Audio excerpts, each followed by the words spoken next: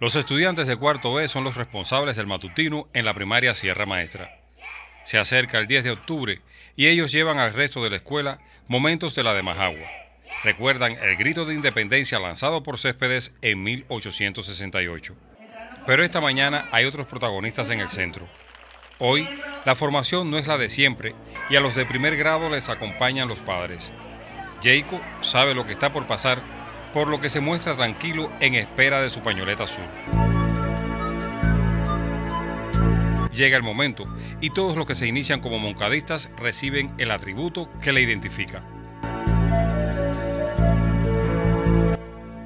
Para los familiares y, por qué no, para los pequeños, el día se vuelve único e inolvidable.